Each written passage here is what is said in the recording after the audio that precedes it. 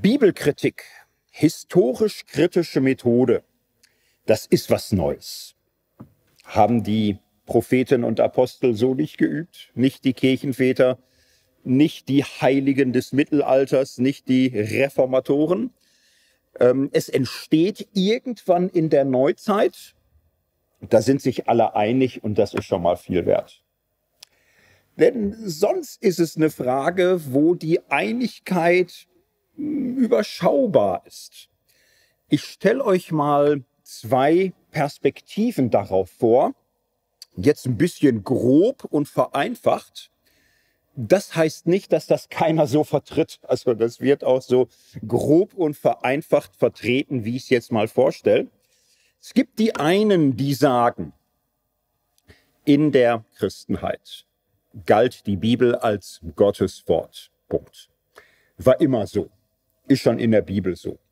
Und alle wahren gläubigen Christen haben das so gesehen. Und in der Neuzeit kommt es zu einer geistlichen Katastrophe. An die Stelle des Gehorsams tritt die Kritik. Die Bibel wird nicht mehr als Wort Gottes gelesen, sondern als Menschenwort.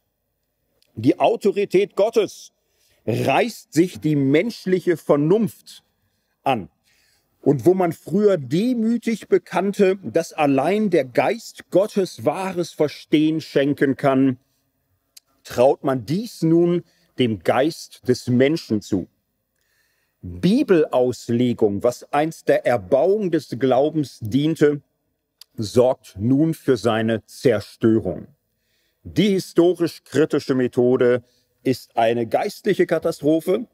Es ist ein Abfall vom wahren Glauben, den alle noch irgendwie geteilt haben. Und darum erkennt man wirkliche Christen daran, dass sie äh, kein Millimeter Richtung historisch-kritische Methode sich bewegen oder verführen lassen. Ganz klar. So sagen manche, sagt man. Jetzt gibt's eine andere Perspektive, die sagt, wir wissen auch, wer das so sagt, die nennt man Fundamentalisten. Daran erkennt man die. Sobald jemand äh, bei historisch kritischer Methode zuckt oder auch nur die Augenbrauen runzelt, halte Abstand, junger Mensch. Es ist ein gefährlicher, es ist ein Fundamentalist. Es ist jemand von gestern. Es ist jemand, der antimodern ist, ein Feind der offenen liberalen Gesellschaft. Denn die Entstehung der historisch-kritischen Methode ist eine Befreiungsgeschichte. Eine Befreiung von der Diktatur autoritärer, dogmatischer Christentümer. Die historisch-kritische Methode gehört zu den Befreiungsbewegungen der Neuzeit. Sie hat uns befreit vor der Bevormundung durch das kirchliche Lehramt, von der Bevormundung durch äh, abergläubische, dogmatische Christentumsverständnisse. Die historisch-kritische Methode hat uns gelehrt, die Bibel zu verstehen, zu verstehen, was die Texte sagen und sich nicht in irgendwelche dogmatischen Illusionen zurückzuziehen. Die historisch-kritische Methode dient der Bibel, weil sie die eigentliche Bedeutung der biblischen Texte herausarbeitet. Sie steht im Gegensatz zu jeder dogmatischen Bibelauslegung. Und darum ist sie aus rationalen und theologischen Gründen schlechthin notwendig. Ja, wird auch vertreten, ne? habe ich gehört, dass, das, dass man das so sagt. So, jetzt könnten wir sagen, Ring auf. Lassen wir die beiden doch mal aufeinander prallen. Mal gucken, ob die sich verstehen. Ich äh, weiß, sage euch, die verstehen sich nicht. Ne? Das ist, die sind da beide richtig wütend. Und das glaubt man gar nicht. So, der, der Witz ist, wenn die unter sich sind, können die ganz nett sein. Beide. Ne? Ich habe so ein Leben, ich kenne beide Welten so und die können ganz lieb sein. So, wo, wo sie sich nicht angegriffen fühlen oder so. Da, da kriegst du ganz tolle Freunde auch, so in beiden Welten. Aber wer, boah, da, da kriegt irgendwer das Gefühl, jetzt ist er nicht mehr unter sich so mit anderen. So jetzt, jetzt, äh, jetzt, jetzt kommt da diese andere Position hinein, dann geht's los. Und dann kann es auch wild werden. Ja, Warum machen wir so ein Thema heute Morgen? Naja, mit der ganzen Worthausgeschichte hat das was zu tun. Also es sind ja viele zum ersten Mal hier. Herzlich willkommen, super. Und ähm, wer schon mal was gegoogelt hat oder schon mal was gehört hat oder vielleicht sogar schon gewarnt worden ist, merkt das ganze Thema Worthaus ja, hat immer wieder auch diese Frage, moderne Bibelwissenschaften heutiges Bibelverstehen, ähm, andere Umgangsweise mit der Bibel, fundamentalistische, evangelikale Bibeltreue. Also da gibt's schon so eine Geschichte, wo man äh, sich wütend machen lassen kann, wenn man möchte. So, wenn man sagt, ach, ich habe niedrigen Blutdruck, also mir hilft bisschen wütend werden, also ich könnte da Kontakte vermitteln. Aber ähm, wir wollen heute das Gegenteil. Ne? Wir wollen heute einfach mal hinschauen. Es ist ein Thema für äh, das für die vielen bibelwissenschaftlichen Beiträge bei Worthaus so eine Art Grundlagenbedeutung hat. Ich mache ja heute, wie auch sonst in der Regel, keine direkten Bibelauslegungen. Ich bin ja kein Exeget. Ich habe ja nur so komische systematische Theologie gelernt und so schwerpunktmäßig. Aber na, es hat sehr viel damit zu tun. Es geht schon um die Grundlage, um die Basis, um die Fundamente, wie heute Bibel ausgelegt wird. Darüber werde ich heute reden. Übrigens auch morgen, übermorgen und überübermorgen werde ich auch darüber reden. Und äh, was ich machen möchte, ist, ich möchte über die historisch-kritische Methode vier historisch-kritische Vorträge halten. Das ist äh, auch sehr normal und so gemeint. Historisch-kritische Methode meint in der Theologie nicht, wir sind alles ganz normale, kluge Leute, aber wenn es um die Bibel geht, da brauchen wir irgendeine so spezielle Foltermethode oder so, sonst kommen wir mit dem Buch nicht klar. Also das ist nicht der Anspruch, im Gegenteil. Der Anspruch ist, die Bibel so auszulegen, wie wir historische, ältere, antike Texte auslegen. Wir müssen das ernst nehmen. Die Texte sind nicht äh, aus unserer Zeit, sondern aus einer ganz anderen Zeit und ganz anderen Welt. Und ähm, da müssen wir ernst nehmen, was wir sonst auch machen. Wir müssen uns mit der damaligen Welt beschäftigen und uns auch ein bisschen überlegen, wo wir heute stehen, von woher wir das machen. So, und das werde ich mit der historisch-kritischen Methode so machen. Ich werde sie historisch beschreiben, also erstmal verstehen versuchen, wo kommt das her? Wie ist das entstanden? Wie sind die Zusammenhänge da gewesen? Welche Gründe, welche Anlässe, welche Auseinandersetzungen haben dazu geführt? Ich werde das kritisch machen. An der Stelle kann man gleich äh, Verwechslungsfehler im Kopf haben. Äh, kritisch heißt nicht dagegen sein. Gibt Menschen beim Wort Bibelkritik, zucken die schon, und sagen, da siehst du doch, dass es falsch ist. Ne? Also die Bibel ist nicht dazu da, dass wir sie kritisieren, sondern empfangen. Und ähm, das ist halt, es stimmt nicht, nicht. Das Wort Kritik heißt nicht dagegen sein. Im ursprünglichen Wortsinn heißt Kritik äh, unterscheiden, differenzieren. Heutzutage in der Alltagssprache hat sich so ein bisschen eingebürgert, jemand kritisieren heißt widersprechen, dagegen sein und so weiter. Da muss man jetzt aber unterscheiden. Das ist die Alltagsbedeutung heute. Das Wort Kritik, so wie es in der damaligen Zeit verwendet wurde, meint ganz schlicht differenzierend unterscheidend historisch kritische Ausgaben. Gibt es nicht nur von der Bibel, sondern auch von Goethes Werken, von Shakespeares Werken. Und äh, da, da wird ja auch nicht äh, sofort geschrieben, Goethe war ein Panaskop, der keine Ahnung hat oder so. Nein, die, die, die lieben ihn ja alle. Ne? Und äh, die, die ihn lieben, machen eine historisch-kritische Ausgabe, weil sie erstmal unterscheiden, welche Ausgabe und Original und Neuauflage und Sonderdruck und Abweichung. So, so darum geht's. Das ist übrigens jetzt Kritik auch gewesen, nicht? also unterscheiden, unterscheiden zwischen Alltagsbedeutung, kritisieren heute So, und das kritisch in historisch kritisch, wo es darum nicht geht, aber wir sind schon mittendrin. So, und es war sogar historisch kritisch, weil ne, heutige Bedeutung, damalige Bedeutung, um solche Sachen geht es. Ja, und heute werde ich ähm, damit äh, beginnen im 17. Jahrhundert. Das Ganze ist übrigens bereits der siebte Teil einer Serie.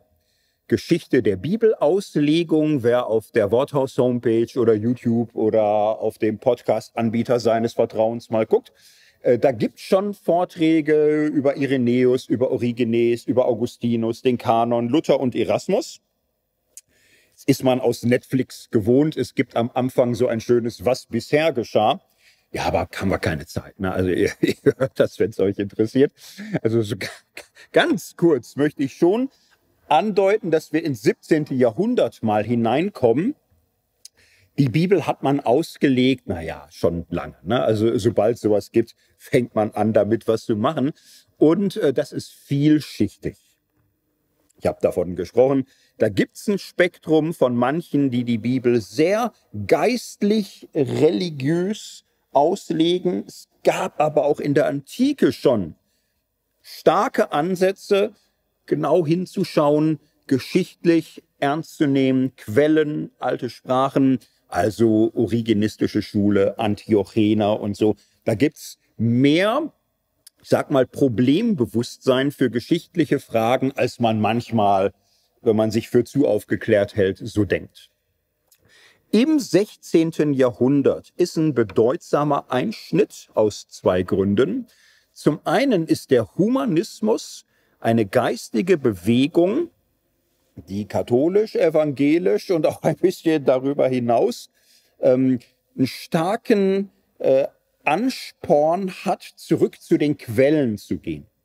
Also auf die hebräischen Texte, auf die griechischen Texte. Und da entsteht erstes kritisches Arbeiten, damals aber gegenüber der kirchlichen Tradition.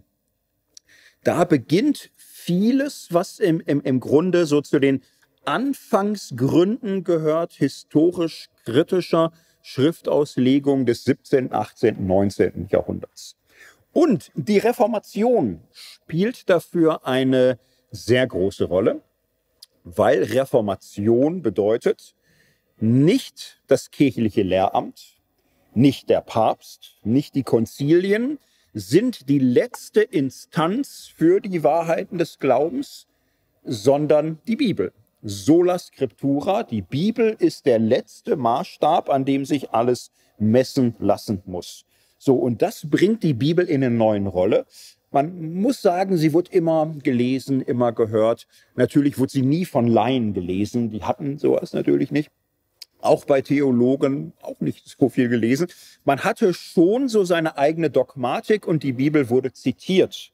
So, aber sie spielte längst nicht so eine zentrale Schlüsselrolle wie im Reformationsjahrhundert. Dadurch, dass die Reformatoren gesagt haben, wir entsagen dem Papst und berufen uns auf die Bibel, hat es nicht mehr aufgehört, dass Bibelauslegung ein ganz entscheidendes Medium war. Die Katholiken finden an, die Bibel gründlich zu studieren, um die Protestanten zu widerlegen. So, und, und diese neue Bedeutung der Bibel sorgt auch dafür, dass so Bibelwissenschaft langsam ins Rollen kommt. So, das war jetzt der Mini-Rückblick, was bisher geschah. Und jetzt springen wir rein in unser Jahrhundert für den heutigen Vormittag, das 17. Wir werden da eine Schlüsselfigur besuchen, aber zunächst auch nochmal sortieren wir das so ein bisschen ein. Ich hatte ja vorhin schon die groben Geschichten, die gesagt haben, historisch kritisches Denken ist der große Abfall es ist der Bruch mit dem orthodoxen, traditionellen Christentum und man glaubt nicht mehr an Gott, sondern an die Vernunft. Falsch, sagen die anderen, historisch kritisch ist, die biblischen Texte wirklich verstehen, was sie wirklich sagen. Der Gegner ist das dogmatische Christentum, was die Bibel in Anspruch nimmt für eigene Geltungsbehauptungen kirchlicher Tradition. So, jetzt brauchen wir es genauer. Jetzt verabschieden wir uns so ein bisschen von diesen grobianischen Positionen, jetzt ein bisschen ranzoomen und ein bisschen genauer gucken. Ähm, auch das werden wir jetzt so machen, dass wir uns da mehr als eine Perspektive gönnen. Es ist immer ein bisschen schwierig, wenn Leute denken, eine Perspektive, ein entscheidender Ansatz, eine Grundidee kann alles erklären. Es kann auch mal sein, im wirklichen Leben sind die Dinge kompliziert. So, und ich möchte zum Aufwärmen euch zwei bis drei Perspektiven vorstellen, die jetzt ein bisschen näher hingucken. So, wie ist es entstanden? Wie ist historisch kritisches Bibelauslegen geworden? Ich möchte euch zunächst mal eine Perspektive vorstellen, die in der deutschen Forschung dazu wichtig wurde so im 20. Jahrhundert, Ebeling-Schule, wem das was sagt und so, da hat das eine große Rolle gespielt. Und ähm, da gibt es eine Studie, Ursprünge, Probleme der Bibelkritik im 17. Jahrhundert. Da wird äh, folgende Story erzählt, folgende Geschichte. So, die Bibel ist für die Protestanten ja Grundlage des Glaubens. So, ähm, am Anfang also in der Reformation ist das irgendwie so, in der nachreformatorischen Generation wächst die Bedeutung der Bibel. Bei Luther ist sie Grundlage. Verrückterweise ist in den Bekenntnisschriften noch so gut wie nichts über die Bibel zu lesen. Das unterschätzen viele. Kann ja jeder mal gucken, lutherische Bekenntnisschriften äh, und suchen, bis er einen Paragraphen über die Bibel findet. Da muss man lange, lange, lange, lange, lange, lange blättern. Nur so nebenbei. Das ist äh, witziger, als man denkt. So. Und äh, im Laufe der nächsten Jahrhunderte wird die Bibel immer zentraler, weil die Katholiken fangen an, diese Grundlage in Frage zu stellen und sagen, das ist, äh, geht ganz anders und, und so. Es gibt die ersten kritischen Merk äh, Anfragen daran. So. Und der Prozess, der sich nun vollzieht, ist äh, folgender kurz gefasst. Der Bibelglaube der orthodoxen scholastischen Protestanten gerät zunehmend unter den Druck des modernen wissenschaftlichen Weltbildes. So, das wäre die zentrale These, die manche aufstellen. Die sagen, ja, es, es war im Altertum, im Mittelalter, auch bei den Reformatoren noch so. Die lasen die Bibel und die hatten schon das Gefühl, dass die Welt so entstanden ist, wie es in der Bibel steht, dass die Welt so alt ist, wie es in der Bibel steht, dass die Völker sich so auseinander entwickelt haben, wie es in der Bibel steht. Und ja, da, da gibt's halt Sem, Ham und Japhet und daraus entwickeln sich die drei Kontinente, Europa, Afrika und Asien. Und das war vor paar tausend Jahren. Und wir sitzen hier auf dieser kleinen, schönen Erde. Übrigens, dass die kugelförmig ist, das, das wusste man ehrlich gesagt schon gibt so den Mythos, man hätte die Erde für eine Scheibe gehalten. Das ist nicht der Fall, nicht im christlichen Mittelalter. Das ist in der Spätantike eigentlich klar geworden. Die Gebildeten hatten schon so das Gefühl, Erde ist eine Kugel, spricht ja was für. Also da hat Kolumbus keinen großen Beitrag zu geleistet.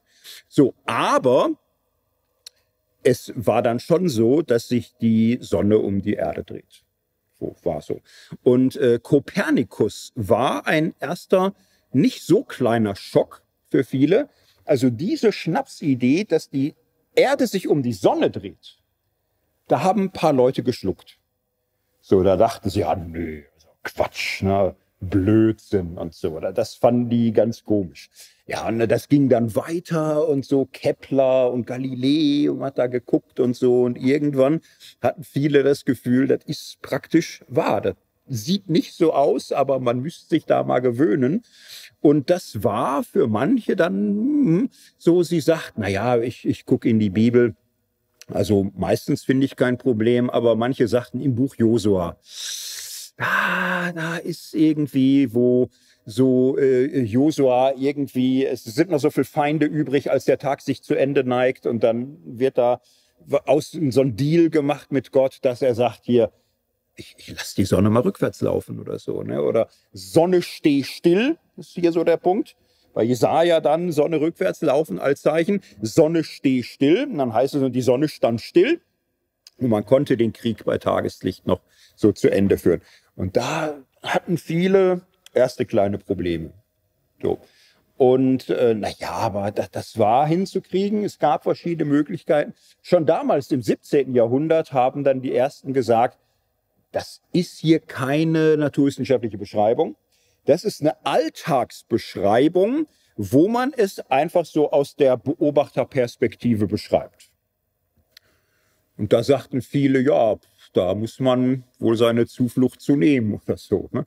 Andere gingen einen Schritt weiter und sagten, wir haben den Eindruck, dass die Verfasser das echt noch nicht wussten. Weil, wenn der Josua sagt, Sonne steh still, okay, so, ne, das Beobachterperspektive. Aber der Text sagt ja dann, er beschreibt es so, als er wüsste er Bescheid, dass die Sonne stillstand. Lass es uns so drehen. Die wussten es damals nicht besser. Und Gott wusste aber, dass sie nicht wussten. Und was hat Gott gemacht in seiner Weisheit? Er hat das im Grunde in der Inspiration der Texte von den Menschen damals so beschreiben lassen, wie es ihnen erschien.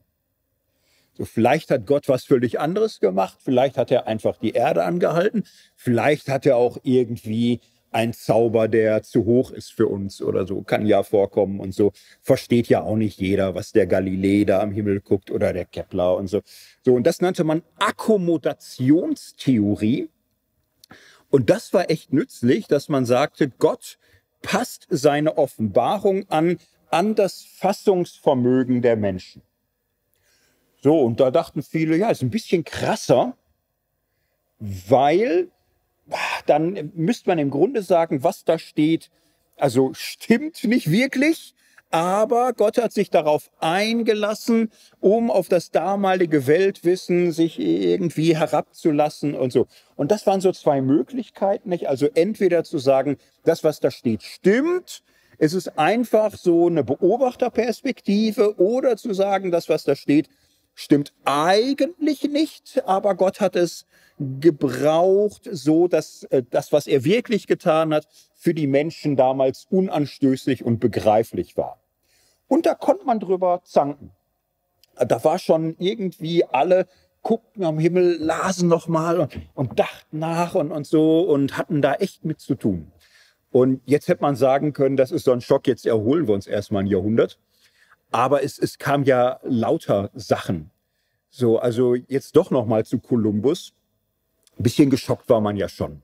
So, ne? Also, dass es jenseits der Welt noch paar Inseln gibt, das ist ja super. Aber dass man da reist und reist und reist und reist und auf einmal Inseln findet, die überhaupt nicht mehr aufhören. So, und, und wo da Leute sagen, da ist einer schon zehn Jahre unterwegs, der findet gar kein Ende. Das sind sehr komische Inseln, die wir da gefunden haben. Das war ein bisschen schockierend. So, das hatten die, ja, so langsam kriegte man die Ausmaße mit, was da für Inseln im Westen waren. Und ähm, auch die Menschen da, das war sehr verstörend. Die wussten nichts. So, das war alles, alles sehr komisch. Die haben da auch irgendwie gebaut oder so. Es waren Menschen irgendwie. Boah, selbst darüber konnte man streiten, aber irgendwann einigte man sich, es, es, sind wahrscheinlich Menschen, die wir da haben. Aber das war sehr verstörend. Sind die jetzt von Semham oder Japhet?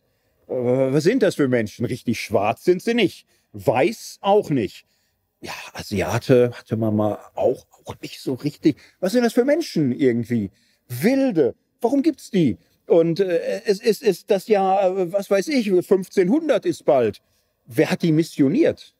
War eigentlich die Idee, dass die Apostel durch waren.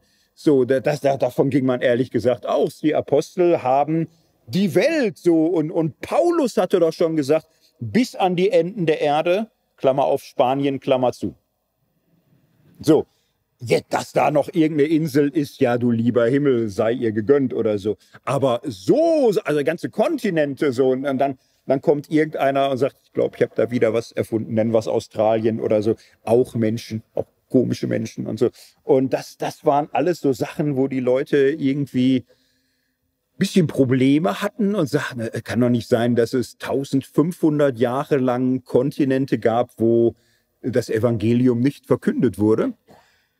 So, jetzt aber schnell, die, die müssen wir alle ruckzuck irgendwie. Aber es, es kam ständig, und jetzt will ich nicht die moderne Wissenschaftsgeschichte erzählen, man brauchte ständig neue Akkommodationsvorschläge, äh, so, also wo irgendein Nichtwissen äh, so, so wieder sortiert werden muss. So, und äh, auch äh, Altertumsgeschichte. Ne? Also können wir jetzt ganz lange strecken. So, man merkte, die Ägypter sind ja nicht von gestern, die Inder, die Chinesen. Also man kriegte so langsam Ahnungen, dass es Völker gibt, deren Geschichte weit, weit länger zurückreicht, jetzt als so die Mosezeit. Konnte sagen, ja, die Chinesen lügen vielleicht. Aber warum sollen die lügen? Und die, die haben ja auch altes Zeugs da rumliegen, auch die Inder und, und so. Also man, man kriegte immer schwummerantere Gefühle dabei. Man hatte so seine Techniken. So irgendwann fing einer an zu sagen, mit Adam und Eva, sagen wir mal so, vielleicht ist das auch der Stammvater ähm, nur so der, der Bibelwelt, der Israeliten. Und vielleicht gab es ja auch schon so Präadamiten. Also Leute auf anderen Kontinenten, ganz woanders und so. Wenn man in der Bibel guckte, spätestens äh, bei Kain hatte man das Gefühl, wer soll den umbringen? Ja, super Idee. Vielleicht tatsächlich so andere so. Ne? Da haben manche probiert, das so zu sagen. Vielleicht sind Adam und Eva gar nicht die ersten Menschen. Vielleicht dachte man das nur so in diesem Weltwinkel und davor gab es andere. Fanden die Zeitgenossen aber nicht lustig. Ne? Der kam dann ins Gefängnis und war dann weg und musste wieder rufen. Ähm, das hieß damals noch nicht Cancel Culture, das hieß damals normal. also, das nur so nebenbei. Ne? Also, gibt heute so eine gewisse Wehleidigkeit, ne? als hätte so 6000 Jahre lang Menschheitsgeschichte jeder sagen dürfen, was er will. Und dann hätten irgendwelche bösen Linken Cancel Culture. Also früher war das normal. War sehr normal. Ne? Irgendjemand sagt, was weg ist er alle sind wieder ruhig oder so. Normal, das nannte man nicht Cancel Culture. So, und ähm, jetzt diese Perspektive sagt, das wuchs so an. Das wurde immer größer. Und ähm, das Interessante ist, die Vertreter des orthodoxen Glaubens, die wurden angesichts dieser heranschwellenden Flut nicht nachgiebiger. Die haben nicht gesagt, ja, da, da müsste man mal ein paar Kompromisse aushandeln, da, da müsste man mal ein bisschen entgegenkommen. Also der Witz ist, äh, je größer die Zweifel, desto unfehlbarer wird die Bibel. Also so ein bisschen in der Entwicklung anschaut, so im frühen 17. Jahrhundert, äh, gibt es so Orthodoxe, die äh, in gewisser Hinsicht damit klarkommen, zu sagen, die Bibel ist theologisch und moralisch und, und so irrtumslos und fehlbar und für andere Fragen, ja, andere Fragen sind andere Fragen. Ne? Da, da, da ist dann auch Beobachtung und Vernunft und, und sonst wie. Und es, es gibt so die Tendenz, dass im, im Grunde je länger, je mehr die Bibel restlos unfehlbar wird. Sie hat grammatisch keinen Fehler, sie hat keinen Rechtschreibfehler, sie ist vollkommen, sie ist in der Überlieferung äh, einzigartig, vollkommen und irrtumsfrei. Und äh, die hebräischen äh, Konsonanten und Vokale sind von Anfang an schon immer eindeutig und immer hm, steiler wurde im Grunde die Irrtumslosigkeit der Bibel und der der äh, Bruch zwischen Beobachtungen, den man machte, und der total perfekten Bibel wurde immer krasser in gewisser Hinsicht. So, und diese äh, Schule sagt nun, und das ist irgendwann implodiert. So, in der Regel nicht so, dass die Vertreter der totalen Bibelperfektion sich nochmal alles haben zeigen lassen und dann haben sie durchs Teleskop geguckt und dann durchs Mikroskop dann einen Eingeborenen gesprochen und dann gesagt, ja stimmt, du hast recht. Lerne ich halt dazu. Nee, in der Regel sind die ausgestorben. Ne? Also wenn Leute so ihr Ding haben, äh, das ist extrem selten, dass jemand äh, mal seine Weltanschauung mal so ändert oder so. Ne? Das war in der Regel nicht, aber die starben aus. So, irgendwann starben die alle aus. So, und äh, die Jungen, die nicht so festgelegt waren, haben irgendwann gemerkt, das wissenschaftliche Weltbild äh, liefert Fakten noch und noch und noch. Und was wir jetzt machen müssen, ist im Grunde das mal klarkriegen, dass äh, die Bibel da einfach andere Zeit, andere Welt und, und so, wir, wir müssen uns darauf einstellen. So, wäre eine Geschichte wäre eine Geschichte zu sagen, das wissenschaftliche Weltbild setzt sich immer stärker durch, 17., 18., 19. Jahrhundert, paar wehren sich wie verzweifelt, sterben aus. So, und dann müsste man irgendwann sagen, ja, und dann, nee, so ganz ausgestorben waren die nicht, da, da kommt immer was nach.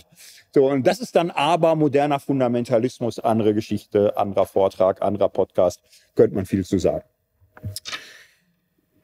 An dieser Geschichte ist ein bisschen was dran. Ich habe jetzt hier keine Fakten erfunden. So, ne? Also man, man, man kann das so sagen.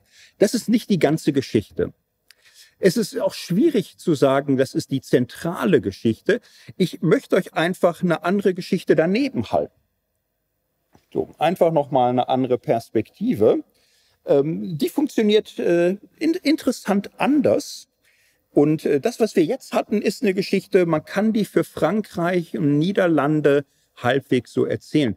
Übrigens, äh, wer die historisch-kritische Methode nicht erfunden hat, sind die Deutschen. Ne? Also wir ganz spät. Wir hatten da 30-jähriger Krieg. Danach waren wir wieder, äh, was weiß ich, äh, so Steinzeit und so. Und bis wir anfangen zu denken, haben englische, niederländische, französische Gelehrte alles Mögliche schon hingestellt. Also Deutschland ist äh, total spät. Wir waren dann eher dabei, so kann man das nochmal radikalisieren. Ne? Da kommen wir ins Spiel. Aber mit den Anfängen historisch-kritischer Forschung hatten wir in Deutschland nichts zu tun. Nichts. So, das war gerade eine Geschichte, die kann man ganz gut erzählen. Frankreich, Niederlande. Jetzt mal eine englische Geschichte. In England äh, würde man auf einen anderen äh, Weg kommen.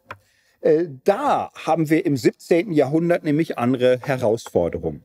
Das könnte man jetzt auch ganz lang erzählen, aber irgendda da, ihr findet da was. Ne? Googelt einfach eine englische Geschichte, englischer Bürgerkrieg, alles super. Kann man viel machen über Cromwell. Auch tolle Sachen ne? mit Königen und Königen, Kopf ab, Hoppla und, und all so Sachen und so. Ne? Da kann man schon interessante Geschichten so. Und ähm, in dieser Zeit ist England ja auch echt bunt. So, man hat äh, altkatholische, die immer noch so das Gefühl haben, das lassen wir denen nicht durchgehen. Man äh, reißt nicht einfach eine Juwele aus der Krone der ja, Mutterkirche und so. Wir holen uns diese Insel zurück und, und so.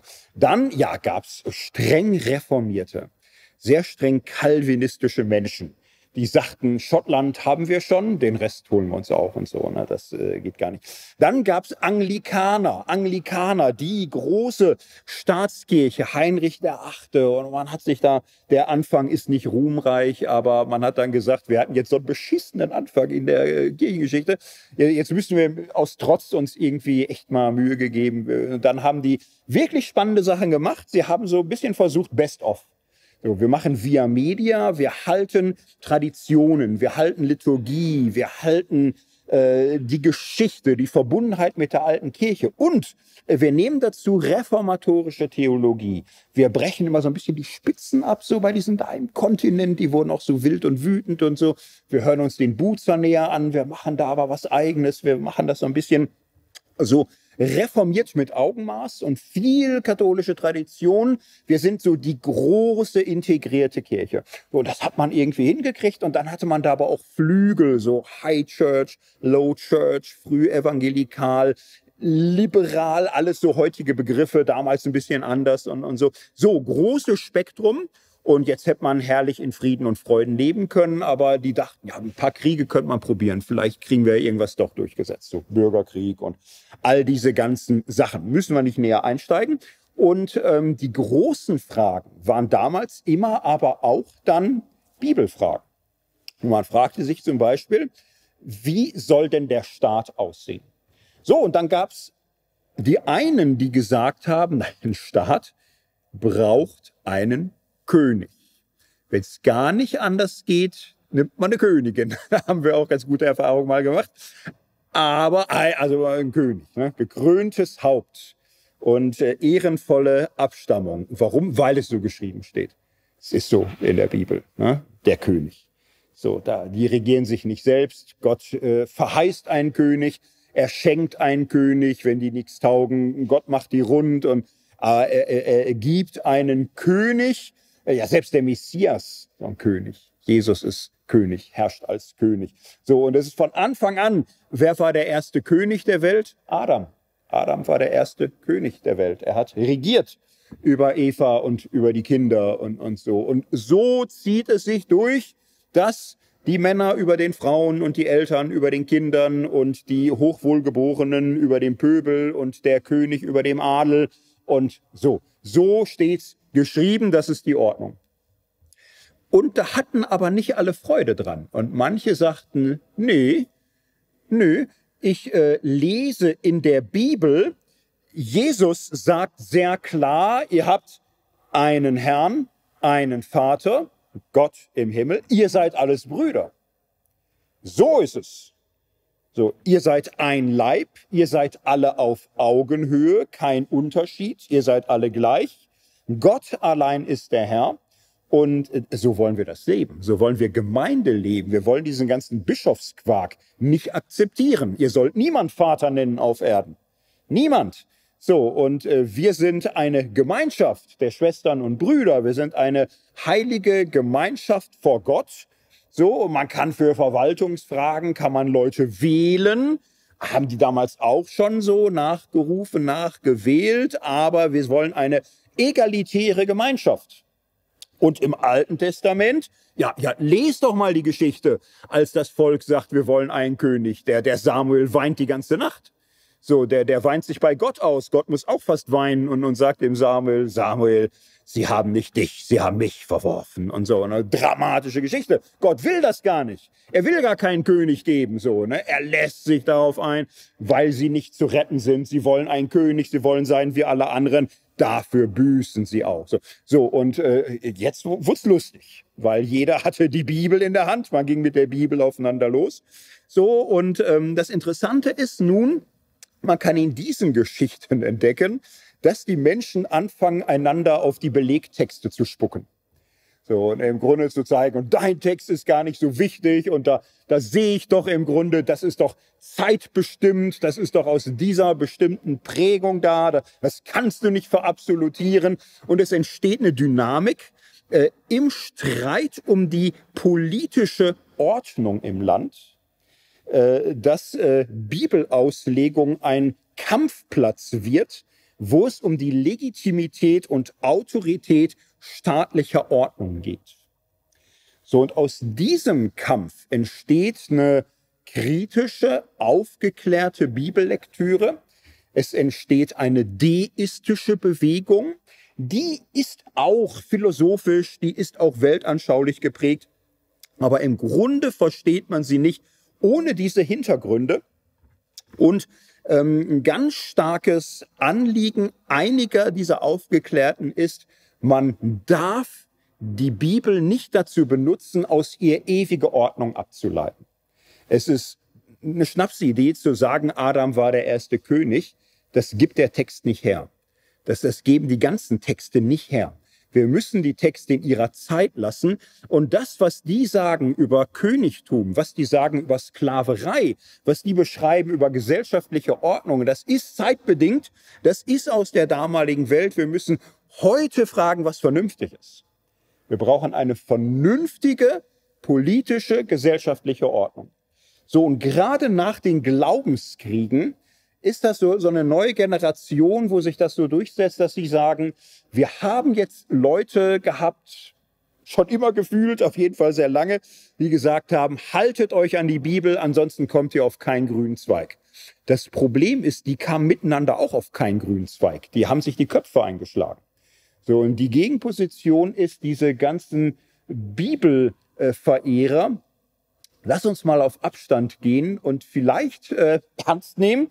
So in der Bibel lernt man was über Gott, wie die Welt funktioniert. Dafür hat Gott uns die Vernunft gegeben. Wir brauchen eine vernünftige Ordnung. Und äh, wir sehen ja alle, Mathematiker aller Länder, aller Völker verstehen sich. Naturwissenschaftler aller Länder, aller Völker verstehen sich. Protestantische, katholische Naturwissenschaftler wenn man die zusammenlässt, die kommen miteinander klar, die können sich verständigen.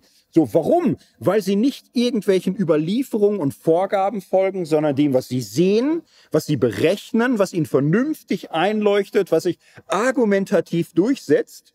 Ja, könnte der Weg sein. So, lasst uns mal so versuchen, Recht zu entwickeln. Lass uns mal so versuchen, Staatsformen zu entwickeln. Lass uns mal so versuchen, Rechte zu definieren, die alle Bürger haben. Jetzt könnte man was über Thomas Fox sagen und John Locke und, und äh, Shaftesbury und, und hm, so all dies und das ist dein Hintergrund. Und ähm, gerade in der englischen Geschichte wird deutlich, Bibelkritik ist eine Art Reaktion auf einen autoritären Bibelgebrauch. So zur Legitimation politischer, gesellschaftlicher Ordnungen gebrauchte man die Bibel. Und äh, wenn einem diese Ordnung gar nicht einleuchteten, so war Bibelkritik eine Art Notwehr gegen diese Übergriffe. So, wie ist die Geschichte?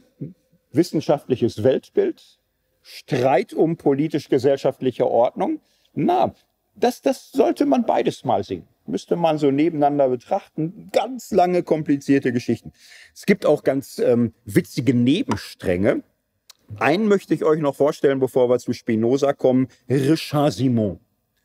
Richard Simon, französischer, ja, katholischer Christ, Kleriker, hat wechselvolle Geschichte, war bei Orat Oratorianern und Jesuiten, ähm, war so ein Bibelgelehrter, so ein Nerd, der hat da so die alten Sprachen gemocht, sich damit beschäftigt und, und so. Hat viele Beobachtungen gemacht, war eigentlich so ein Bibelgelehrter der damaligen Zeit, der sich da reingekniet hat. Und der hat Beobachtungen gemacht. Ne, der, der merkte irgendwann, die hebräischen Texte der Bibel und die Septuaginta und die Vulgata, also die lateinischen, griechischen, hebräischen Texte, da gibt's echte Probleme. So echte Probleme und das quälte ihn erst. Aber dann hatte er eine ganz witzige Idee, da musste er richtig lachen. So, da sagte er sich also, macht mir Probleme, dass ich gerade auch nicht weiß, was denn der Bibeltext ist. Mensch, also ich hab, hab gedacht, das ist alles klar, aber ist gar nicht so klar.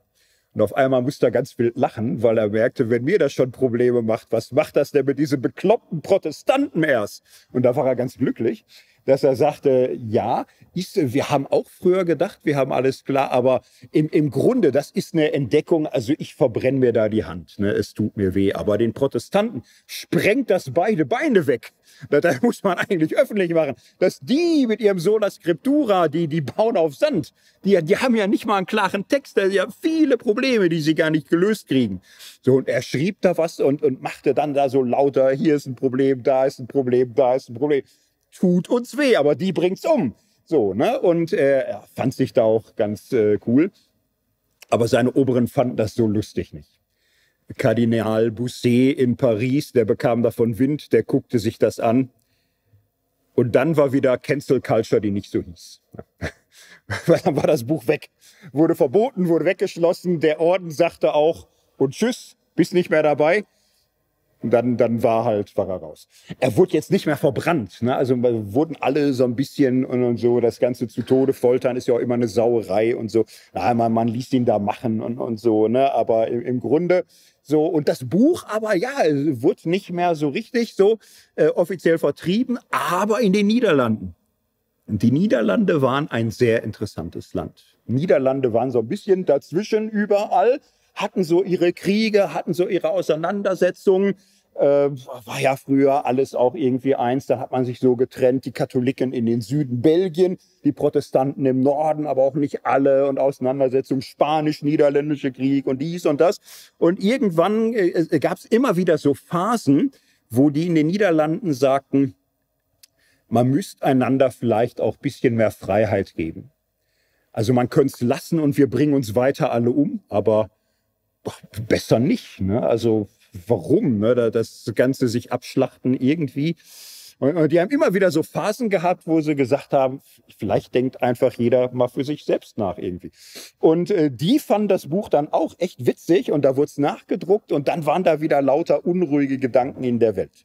So, Ähm, was ist die Moral von der Geschichte? Die Dinge sind äh, komplizierter als die ganz glatten, einfachen Erklärungen. Nehmt das jetzt so nebeneinander, aber man könnte jetzt da noch fettere Bücher lesen oder schreiben, aber mh, möchte euch heilsam verwirren, so heilsam ein Gefühl davon geben, so die die einfachsten und schönsten und glattesten Geschichten erzählen, haben vielleicht das beste Gefühl dabei, aber längst nicht immer auch die Wahrheit. Es ist komplexer und, und so, so. Und wir tauchen jetzt nochmal in einem besonderen Fall ein, der sehr lehrreich sein wird, nämlich Niederlande Baruch de Spinoza. Ja, Biografie bei Berühmten der alten Welt ist es ja immer so ein bisschen das Ding. Ne? Also man weiß über die Anfänge fast nichts. Ne? Man weiß, die Familie kam aus Portugal portugiesische Juden und ähm, ach, frühe Neuzeit. Spanien, Portugal, das sind so Länder, die waren früh stolz darauf, judenrein zu sein. Ne? Sehr viel vertrieben, zwangsbekehrt, umgebracht und so. Also wäre eine Gelegenheit, sich durch einen Exkurs nochmal zu deprimieren, aber lassen wir den aus. Ne? So. Familie flieht, flieht in die Niederlande. Niederlande wird Zuflucht für viele so Leute die äh, irgendwo raus mussten ganz schnell. So Synode, äh, Synagoge gegründet, gibt eine portugiesisch-niederländische Synagoge, äh, da ist er dann drin. Und äh, man merkt, ja, also Vater sorgt für seine Erziehung, er kriegt eine gute Ausbildung, auch eine talmudische Ausbildung. So, er hätte den Weg gehen zum, können zum Rabbiner. Aber es ist so Mitte des 17. Jahrhunderts, der hat da Fragen gekriegt, der Spinoza. Ein bisschen zu viele Fragen vielleicht auch, weil als er 23 ist, sagen die ihm in der Synagoge, du, wir haben dich doch schon mal verwarnt. Ne? Und da sagt er, stimmt. Und da sagten sie, ja, und das jetzt schon wieder, dass du Gedanken in deinem Kopf hast, die, die tun uns alle nicht gut. Und äh, wir, wir sind Juden, wir sind auf der Flucht, wir sind, ja, wir, wir, wir zünden hier keine Menschen an, gar nicht. Aber also dich rausschmeißen tun wir schon. Das ist so. Ne? Raus bist du. Hieß auch noch nicht Cancel Culture, aber die machten es so. Äh, er war 23. Wir wissen nicht genau, was damals das Ding war. Wir vermuten aber, dass es schon Fragen waren, wie aus seinen späteren Büchern, auf die komme ich gleich. Es wird ein Bannfluch über ihn ausgesprochen, der heißt so, nach dem Beschlusse der Engel und dem Urteil der Heiligen bannen verwünschen, verfluchen, verstoßen wir Baruch de Spinoza mit Zustimmung des heiligen Gottes, gepriesen sei er und dieser ganzen heiligen Gemeinde. Mit dem Bannfluche, womit Josua Jericho fluchte, mit dem Bannfluche, mit dem Elisa den Knaben fluchte, mit all den Verwünschungen, die im Gesetz geschrieben stehen. Verflucht sei er am Tage, verflucht sei er bei der Nacht. Verflucht sei er, wenn er sich niederlegt, verflucht sei er, wenn er aufsteht. Verflucht sei er bei seinem Ausgang, verflucht sei er bei seinem Eingang.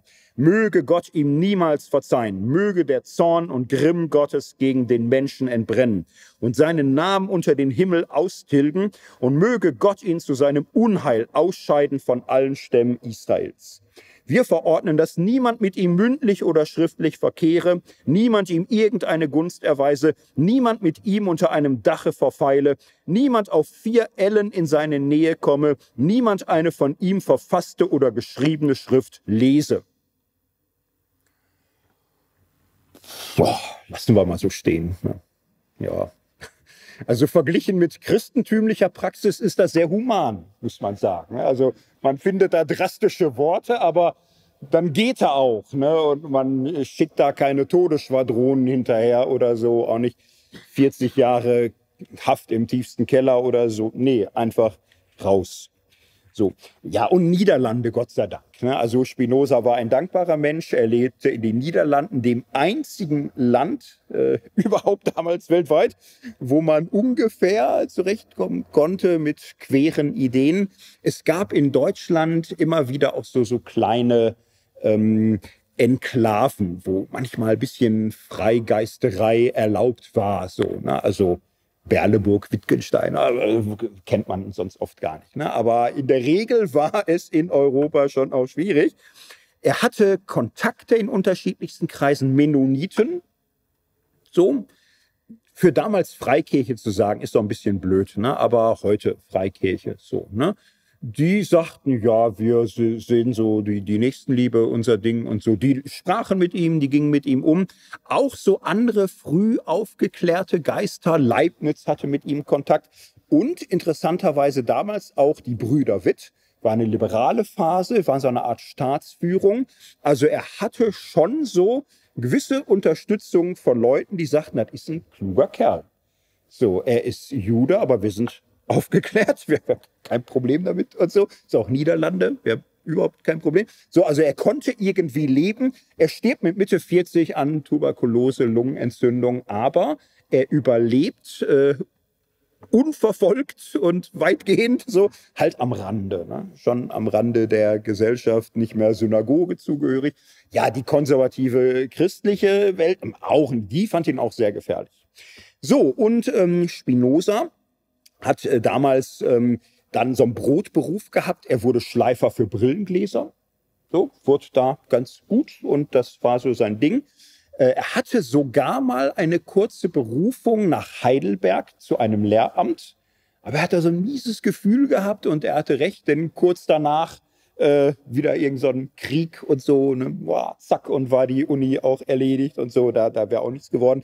Und er hat neben seinem Brotberuf als Privatgelehrter so diese Gedanken, die er zu viel im Kopf hatte, dann so nach und nach aufgeschrieben.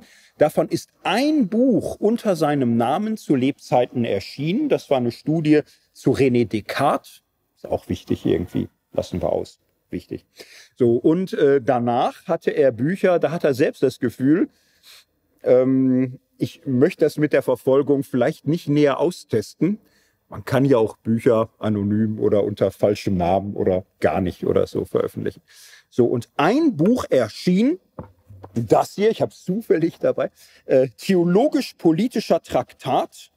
Und damit werden wir uns jetzt so einen restlichen Vortrag ein bisschen beschäftigen können, weil wenn man ein Buch, einen Menschen, ein System haben will für Anfänge historisch-kritische Methode, also man müsste das nennen. Es ist das Wichtigste. Es ist das äh, Bedeutendste, wo man das mal jetzt so am Stück sieht. Wir werden beim Referat auch merken, was ich bis jetzt so erzählt habe, war nicht, weil mir langweilig war, sondern irgendwie fließt das hier mit ein. Ne? Also schon viele Entdeckungen und Gedanken und so. Das, das ist alles im, im Grunde hier vorausgesetzt. So, und jetzt hören wir uns das mal so ein bisschen an, was er so schreibt. Er fängt in der Vorrede an. Da ich das seltene Glück genieße, in einem Freistaate zu leben, wo jeder die volle Freiheit des Urteils hat, wo er Gott nach seiner Überzeugung verehren darf und wo die Freiheit als das teuerste und liebste Besitztum gilt, so schien es mir kein undankbares noch unnützes Unternehmen, wenn ich zeigte, dass diese Freiheit nicht bloß ohne Schaden für die Frömmigkeit und den Frieden des Freistaats gewährt werden kann, sondern dass sie auch nicht aufgehoben werden kann ohne gleichzeitig diesen Frieden und die Frömmigkeit aufzuheben.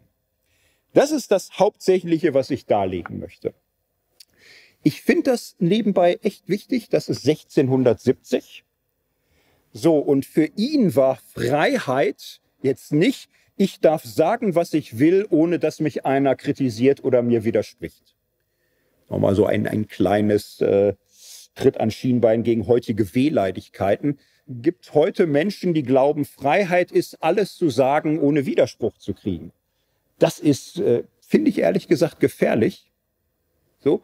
Also äh, Freiheit ist alles sagen zu können, ohne dafür ins Gefängnis zu müssen. Das ist Freiheit.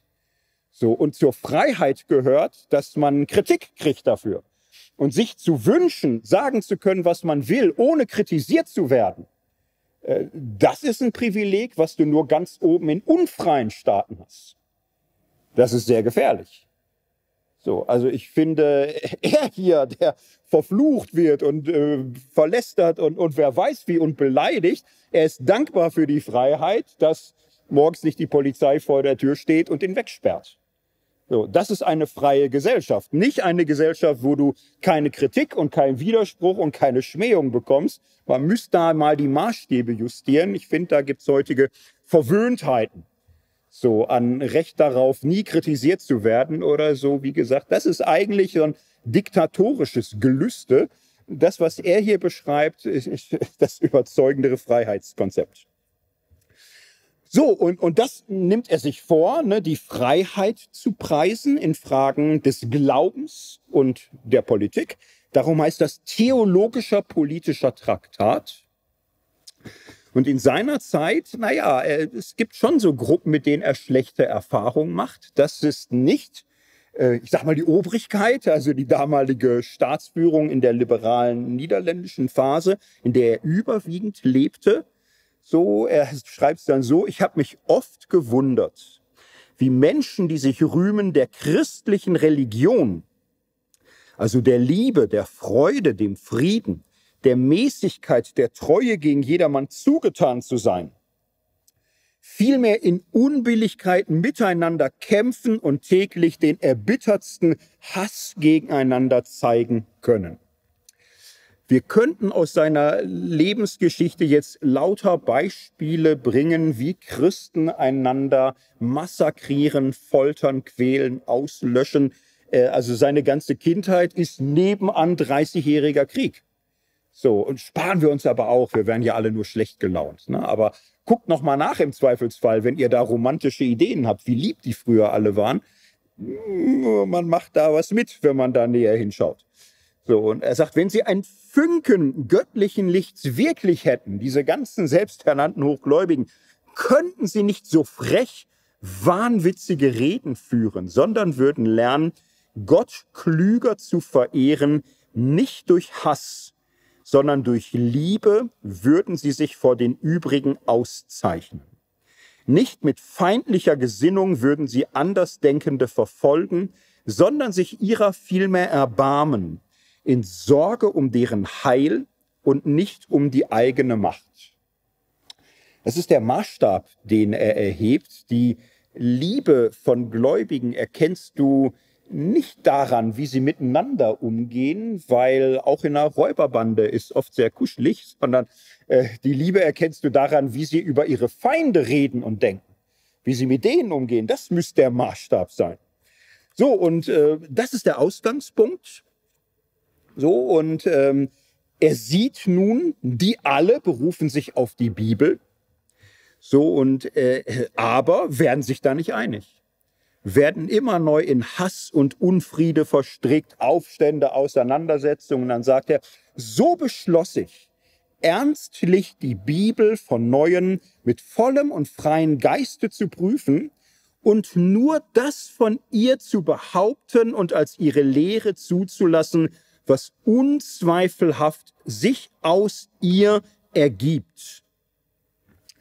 Das klingt jetzt ganz reformatorisch, er hat aber nicht das Gefühl, jetzt das zu machen, was die ganzen Reformierten, Reformatoren, Lutheraner, wer auch immer machen. Also er hat das Gefühl, äh, das ist was Neues, das ist was, was ganz Neues.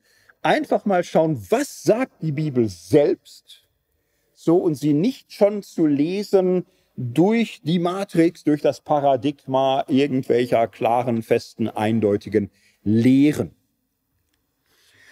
So, das macht er in seinem Buch und das macht er jetzt 200 Seiten lang. Im Grunde macht er jetzt so einen Durchgang durch die ganze Bibel und dann am Ende, als man den Anfang fast vergessen hat, sagt er so, ich bin wieder bei der Politik, da wollte ich ja hin. So, wir fassen das jetzt ein bisschen zusammen, wir kürzen jetzt und, und so und er sammelt jetzt so Beobachtungen.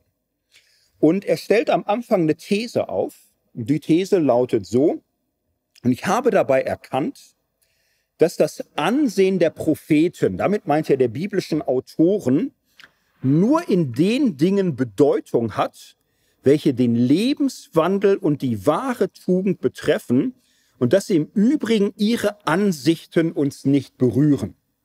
Das ist die These, er nennt das ganz am Anfang und dann geht er das durch, um das zu zeigen. So, und ihr merkt aber, was ich vorhin ausführlich beschrieben habe, hier ist es mal in einem Buch, ne, hier habt ihr mal eine Quelle und ansonsten wird das so hier und da und überall an politischen Fragen, an astronomischen Fragen, an historischen Fragen so nach und nach zusammengetragen.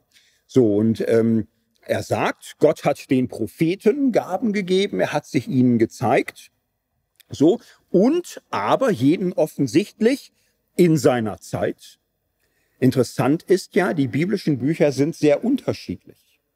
Die Kirchen tun so, wenn sie sagen, die Bibel sagt, als könnte man die aufschlagen, wo man will, und das wird irgendwie so überall stehen. Und er sagt, nee, ähm, das sind sehr unterschiedliche Bücher. Da gibt's prophetische Bücher, ja, und jetzt vergleich mal Nahum und Jesaja. Einfach mal hintereinander lesen. Bei Jesaja brauchst du ein bisschen länger. Ähm, es könnten dir Dinge auffallen. Es, du könntest bemerken, dass das Unterschiede sind. Andere Zeit, andere Herausforderungen, andere Schwerpunkte. So, und er nennt da viele Beispiele und, und sagt, es ist an sich schon falsch, so zu tun, als gäbe es eine biblische Lehre, die zufälligerweise in allen 66 Büchern so zu finden ist. Also er entdeckt, er beschreibt, er belegt Verschiedenheit der biblischen Texte. So, und äh, er sagt, die sind dann in manchen Fragen sehr verschieden, wie sie einzelne Dinge beurteilen. Was ihnen gemeinsam ist, na, ist, sie handeln von Gott, so von, von Gottes Offenbarung, von Gottes Wesen, von Gottes Werten. So, und da glaubt er, passt das letztlich zusammen. Gott ist unser Ursprung und wir sollen leben nach dem Willen Gottes. Ansonsten aber gibt's große Unterschiede. Er geht weiter vor und sagt, und ähm, es gibt einfach viele Punkte, da sehen wir, die haben untereinander schon viele verschiedene Auffassungen von äh, der damaligen Geschichte. Und wir haben heute manchmal schon auch berechtigt das Gefühl, ähm, da inzwischen zu viel alte Quellen gelesen zu haben. Also er kommt auf Noah zu sprechen. Er bezweifelt gar nicht, dass Noah, Mose und so weiter alle existiert haben. Aber er sagt, der Noah hat ganz offensichtlich geglaubt, dass Gott das ganze menschliche Geschlecht ausgerottet hat. Und äh, da sagt er, ja, nee, das, das war was in seiner Umgebung. So, da, warum soll ich das bestreiten? Da wird in seiner Umgebung irgendwas gewesen sein. Aber die ganzen Inseln in der Ferne und so, Amerika, kriegt keiner zusammen. Nee, weil es auch nicht zusammenzukriegen ist. Das schreibt er damals in seinem Weltwissen und das ist auch okay. Und äh, es ist aber so, dass wir heute manche Vorstellungen etwas anders haben. Das hat Gott denen nicht offenbart. So, und das waren ja Standarddiskussionen der Theologie der damaligen Zeit. Und Spinoza versucht jetzt aber nicht, das irgendwie zu retten, Akkommodationstheorie so oder so. Und er sagt, ja, ist so. Also, und das ist aber nicht äh, wichtig nicht wichtig für uns, das ist nicht die Botschaft. So, und ähm, das Problem, was er hat mit der zeitgenössischen Bibelauslegung in Kirche und Synagoge, ist ähm, so, dass er sagt, die können im Grunde äh, solche Gedanken nicht mal ertragen, dass du bei irgendwas sagst, das, das ist zeitbedingt und so. Nein, sie, sie wollen dich zwingen, sie üben Druck aus und sie sagen, wenn du dich hier nicht ganz und gar unserer Bibelauslegung unterwirfst und deine eigene Vernunft ausschaltest und dir alle Fragen verbietest, dann Ausschluss, Hölle, Verlorenheit, irgendwie was. Und Spinoza sagt, das ist äh, ein größeres Problem als die ahnen.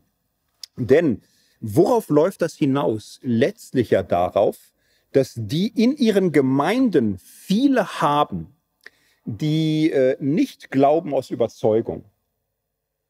Nicht glauben, weil sie Dinge geprüft haben, gecheckt haben, durchdacht haben und erkennen, dass es wahr ist. Nein, Kirchen und Synagogen sind voll von Menschen, die Dinge für wahr halten, über die sie sich nicht mal trauen nachzudenken. Und das ist aber eine völlige Verdrehung und Verkehrung dessen, was Wahrheitserkenntnis ist. Wahrheitserkenntnis ist nicht Dinge abzunicken, weil ich sonst Riesenschwierigkeiten kriege. Wahrheitserkenntnis ist äh, Dinge zu bejahen, weil ich sie einsehe, weil ich sie verstehe, weil es mich überzeugt. Und wenn du Überzeugung ersetzt durch Druck, äh, zerstörst du das Wahrheitsgewissen und die Frömmigkeit. Du zerstörst äh, die Fähigkeit, die Wahrheitsfrage ernst zu nehmen, weil es am Ende doch nur darum geht, dich anzupassen an das, was dir vorgegeben wird. Das ist aber eine knechtische Existenz, zu der er nicht bereit war und er weiß, es gibt viele überall, die eigentlich zu viele Gedanken im Kopf haben, aber weil sie lieber Ruhe und Frieden wollen und ja auch denken, will ja mit meiner Verwandtschaft, mit meinem Freundeskreis nicht überquer und so, bin ich halt ruhig, ist ja egal. So, und das ist aber für Spinoza unwürdig, für den Geist und für das Herz, für den Glauben und für die Vernunft. Solche ähm, Religion, die auf Zwang beruht, äh, ist zutiefst unwahr weil man hier letztlich reagiert auf Angst vor Strafe, Angst vor Sanktionen, Angst vor Ausschluss und äh, gar nicht so, wie es ja nun wirklich geschrieben steht. Gott liebt, weil man ihn als einen liebenden Gott erkannt hat. Das wäre eigentlich wahre Frömmigkeit, Liebe zu Gott aufgrund der Erkenntnis der Liebe Gottes. Und wenn aber ein Umgang mit der Bibel das unmöglich macht und ein Zwangssystem der verständnislosen Anpassung an Glaubenssätze herbeiführt, dann ist das ein Riesenproblem für die Wahrheit und für den Glauben. So, und Spinoza schlägt dafür eine Lösung vor. So nämlich die Lösung, wir trennen Theologie und Philosophie. Mit Philosophie meint er nicht das, was heute an der Uni vorkommt. Heute an der Uni kommt ja im Grunde der heilige Rest vor. Also das, was kein anderer machen will. Ne, damals war Philosophie im, im Grunde äh, alles Mögliche, was heute eingewandert ist in Pädagogik und Soziologie und Psychologie und äh, Anthropologie und alles Mögliche und, und so. Das ist, war ja alles im Grunde die philosophische Fakultät. Das meint er.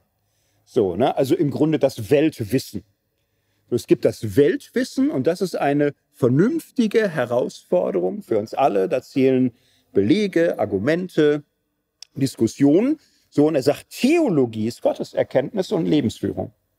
Das ist Theologie. Dafür ist die Bibel gut.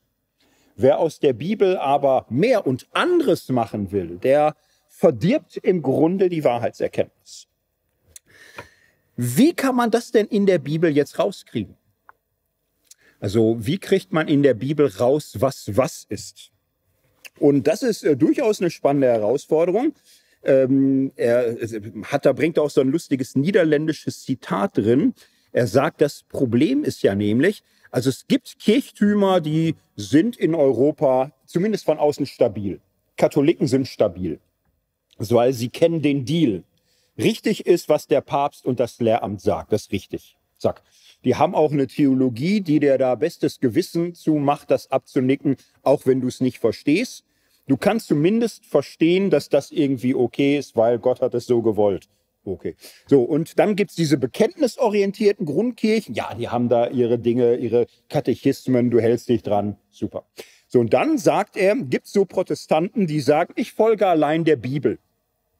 Gab's in den Niederlanden auch viel. Das macht die Niederlande so wahnsinnig interessant weil es die freigeistigsten und bibeltreuesten gleichzeitig hatte. Da brauchte man halt gute Nerven in dem Land. Ne?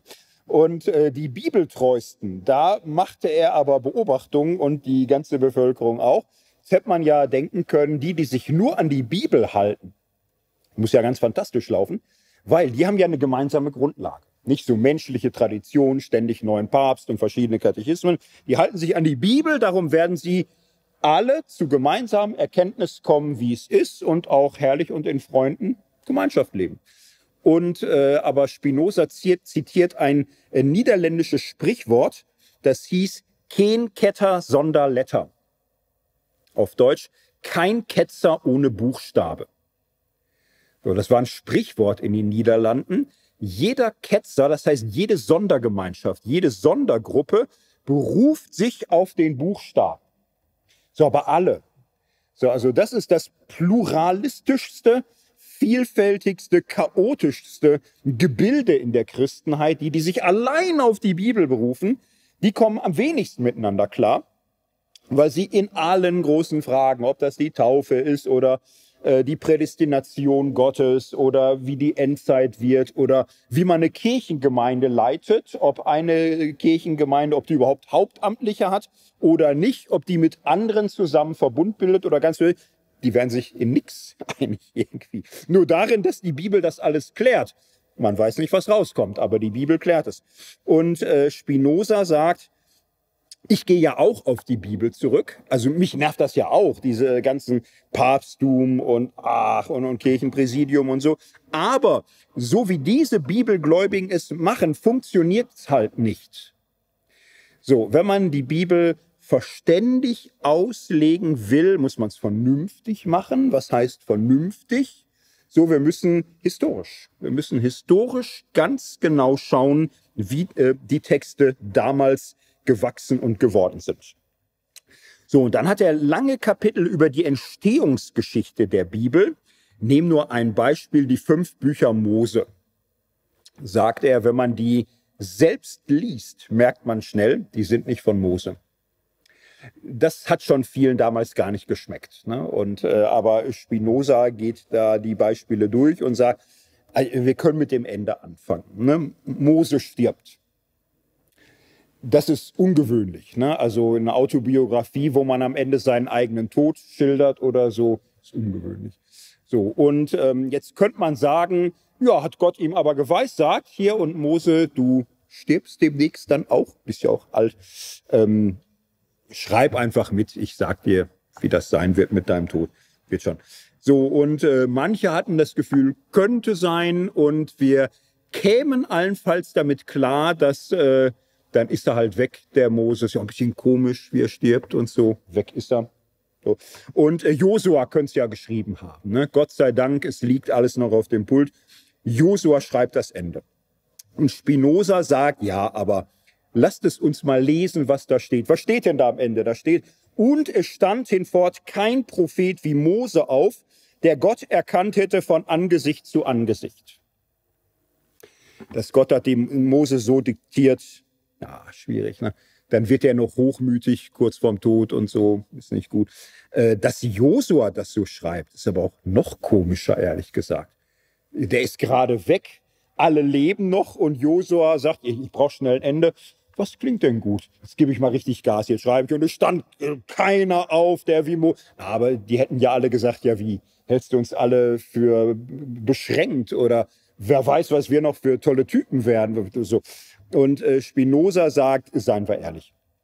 Der ganze Deal ist ja, ich gehe von der Bibel selbst aus. Wie klingt das? Für mich klingt das so, als hätte hunderte Jahre später das so verfasst. Der ganze Satz macht nur Sinn, wenn hunderte Jahre später irgendwann einer sagt, es stand hinfort kein Prophet wie Mose auf, der Gott erkannt hätte. Könnt jetzt noch auf ein drauflegen und, und sagen, in der Samuel-Zeit zum Beispiel steht in den Samuel-Büchern der Seher. Und dann heißt es im Samuel-Buch, die, die man heute Propheten nennt, nannte man damals Seher, Jose. Also selbst vom Wort, vom Wort gibt schon das Problem. Heute ist das gar kein Thema mehr. Ne? Aber Spinoza hat so Beobachtungen gesammelt und gesagt, es klingt halt so, als wäre es hunderte Jahre später verfasst, wird so sein. Und er findet ja weitere Belege. Ne? Genesis 36 kann jeder mal nachschauen. Genesis 36, Vers 31. Da heißt es über Edom, Esau ist gerade so da, ne? und dann heißt es, und dies sind die Könige, die in Edom geherrscht haben, ehe ein König herrschte über die Kinder Israels. Und dann kommt so eine lange Namensliste. Jetzt kann man darüber wegschnarchen und sagen, hier, ich habe Bock auf Josef, gib Gas und so, ne? Egal. So, oder man kann aus Versehen wach sein und Fragen kriegen. So, die Könige, die in Edom geherrscht haben, ehe ein König herrschte über die Kinder Israels. Wann war das nochmal? Ja, David. Ne? David ist der erste König. Und dann, dann steht da eine ganze Reihe von Namen. Das ist ein kleines Problem, dass Mose das so schreiben soll. Jetzt könnte man sagen, ist überhaupt kein Problem, weil Gott kennt ja die Zukunft. Er kann es dem Mose so geweissagt haben. Das werden die Könige sein zwischen dir und König David, die in Edom herrschen werden. Das jetzt eine besonders nützliche Weissagung ist, will ich gar nicht entscheiden müssen. Aber ähm, es liest sich nicht so. Es liest sich überhaupt nicht so. Und warum? Was soll das da? Alle sind gespannt auf die Josefsgeschichte. Und jetzt zu sagen, und weil ich es kann, einfach mal die nächsten Könige für 400 Jahre in Edom. Einfach, weil ich Bock habe, das jetzt zu weissagen. Ja, oder man sagt, also der Text ist ein klarer Beleg, dass der nicht vor Davids Zeit geschrieben worden sein kann. So, und Spinoza nimmt so Beispiele und sagt, ich habe auch noch mehr, ne? Also hier, Abraham verfolgt Leute bis Dan. Die kriegen ihr Gebiet ja erst nach Landnahme. Da ist, äh, sind schon alle tot, die Mose überhaupt gekannt haben. Was soll das bei den Erzvätern? So, und, und er bringt diese ganzen Beispiele und sagt, es äh, ist halt so. Äh, wenn du vom Text ausgehst, können die fünf Bücher Mose gar nicht von Mose geschrieben worden sein. Du brauchst da ganz kuriose Ideen. Und äh, von wem ist es? Äh, Spinoza sagt, ja, also weiß, weiß ich jetzt nicht. Äh, wenn ich raten dürfte, ich würde auf äh, Esra tippen. Esra. Äh, der wird uns in der Bibel selbst beschrieben als großer Schriftgelehrter, der große Schriftgelehrte nach dem Exil. Also ich würde es dem Esra zutrauen. So. Es gibt da übrigens auch alte Überlieferungen, viertes Buch Esra, das ist nicht nur Apokryph, sondern Apokryph, Apokryph, also zählt überhaupt keiner so richtig für eine heilige Schrift. Aber da gibt's so eine äh, interessante Kiste, so einen Bericht, wo es heißt, nach dem Exil, alles war kaputt, die heiligen Schriften waren auch alle weg.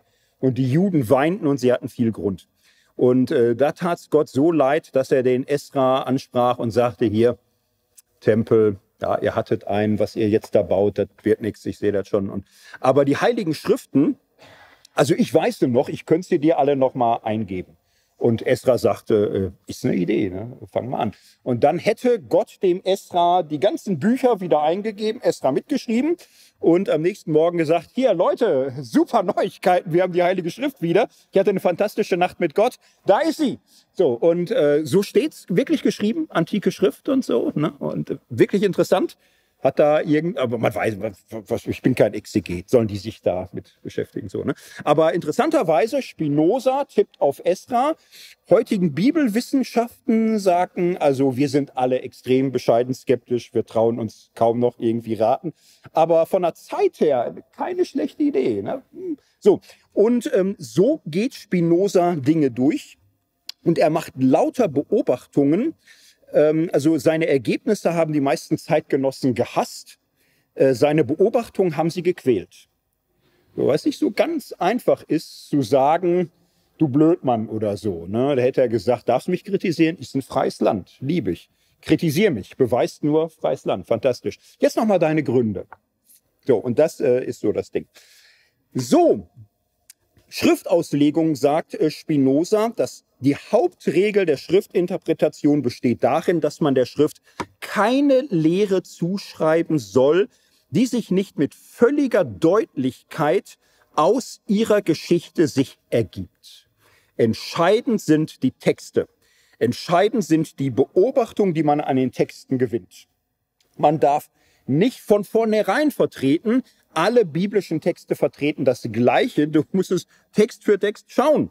So, du musst es dir angucken. So, was ist dafür nötig? Du musst die Texte natürlich in ihren Sprachen kennenlernen.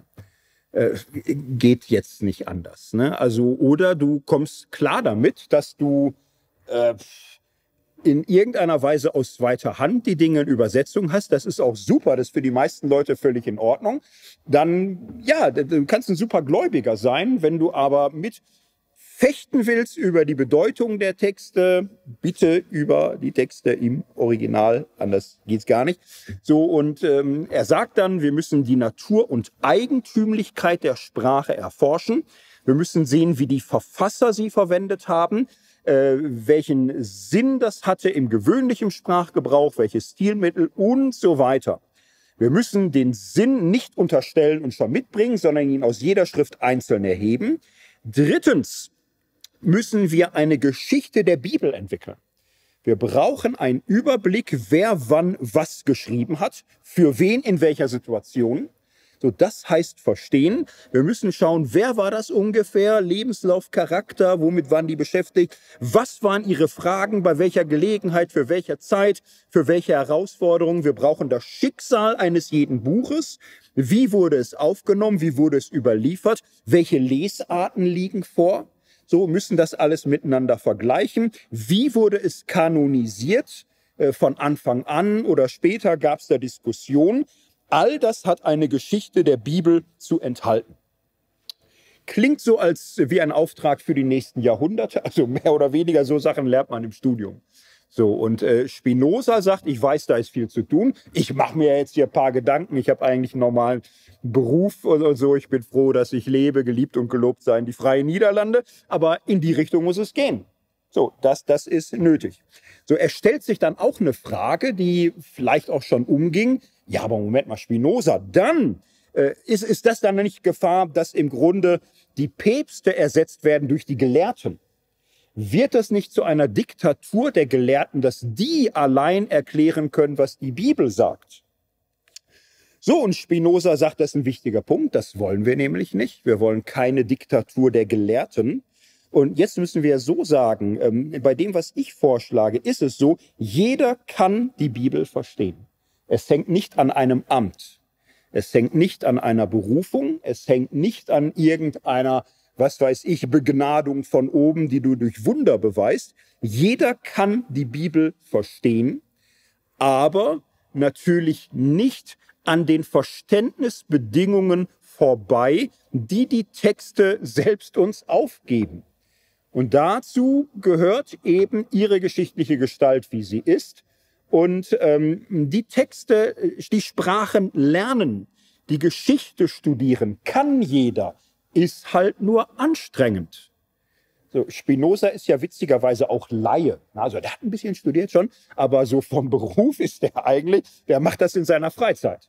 So, der sagt, ja, jeder kann mitmachen, aber ähm, nicht äh, jammern, wenn das äh, Können Anstrengung erfordert. Und dann kann, kann da jeder mitmachen oder auch zufrieden sein und sagen, ach, aus zweiter Hand ist auch nicht so schlecht, wie man sagt. Hm, geht ja auch. So, was kommt denn in der Bibel heraus? So, was, was ist das Ergebnis? Und äh, Spinoza sagt, und das ist jetzt das Allerwichtigste, das ist das Ergebnis sein Buch, seines Buchs, naja, folgendes. Gott. Gott ist. Gott ist ewig und überall. Das können wir in der Bibel lernen. Gott ist der Ewige, der zugleich voller Liebe und Gerechtigkeit ist.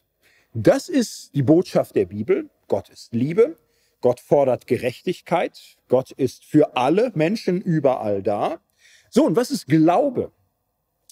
Glaube ist, naja, kann schon sagen, Glaube ist Gehorsam.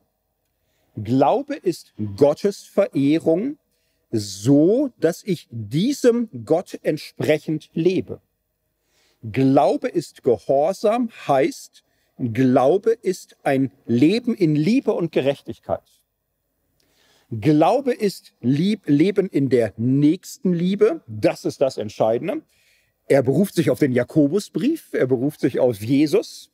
So, er findet im Neuen Testament dafür seine entscheidenden Dinge bei Paulus nicht so. So, Klammer zu sofort. So, aber er sagt, das ist das, das Ganze. So, keiner von uns ist ohne Schuld. Alle Menschen sind Sünder. Aber weil Gott Liebe und Gerechtigkeit ist, also klar, er, äh, ihm missfällt vieles und seine Barmherzigkeit ist größer. Gott verzeiht allen, die äh, Schuld erkennen und bereuen. Und das ist die Religion.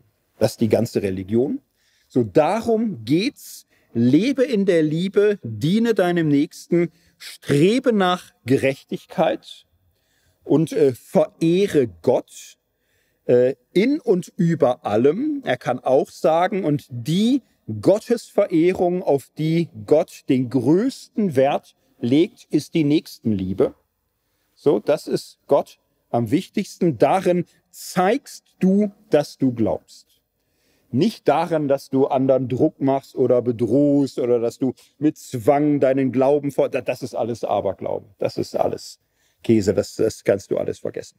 So, das ist ähm, die Botschaft der Bibel nach Spinoza.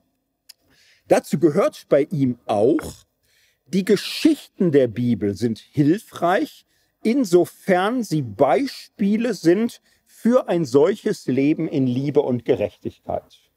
Es ist nicht der Sinn der Religion, Geschichten für wahr zu halten, die man nicht versteht oder die einem komisch vorkommen. Es gibt dann einen Wunderexkurs, wo er sagt, äh, viele tun so, als wäre Religion lauter übernatürliche Dinge für wahr zu halten, die man völlig spooky findet. Man muss äh, dabei wissen, äh, Spinozas Frage ist nicht, gab es Wunder in biblischer Zeit? Wenn Leute so fragen, ist schon sehr modern. Ne? Also für Spinozas Jahrhundert ist die Frage nicht, gab es Dämonen in biblischer Zeit? So, ne? Also ständig brannten irgendwo Leute, weil Pakt mit dem Teufel oder so. Ne? Für, für ihn war die Grundfrage, gibt es diese ganze Geister, Dämonen, Wunderwelt? So, jetzt und damals. Das ist seine Frage für ihn, weil ständig beriefen sich ja Leute auf Wunder und Visionen und Pakt mit dem Teufel und möge sie brennen und, und all diese ganzen Sachen. Und äh, da vertritt Spinoza die knallharte These, Gott ist äh, der Ursprung von allem. Er ist in allem und alles in ihm. Klammer auf, er hat da sehr komplizierte Gedanken, die lassen wir jetzt weg, da kann man lange drüber streiten, wie man das tituliert. Und ähm, Spinoza sagt, die Weisheit Gottes drückt sich aus in den Gesetzmäßigkeiten dieser Welt. Und äh, Gott hat die Welt so geordnet, dass sie nach seinem Willen äh, sich ereignet. Äh, Gott hat es nicht nötig, irgendwelche Ad-hoc-Reparaturen vorzunehmen bei Dinge, die ihm gerade mal missfallen. Also Spinoza sagt, wir brauchen keinen Gott, der mit Wundern dazwischen tut, weil ansonsten das Ganze entgleist. Ne, eine Maschine funktioniert. Äh, eine gute Uhr, die läuft.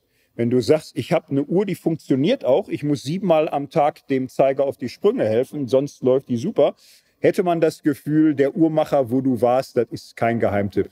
Ist nicht irgendwie gut.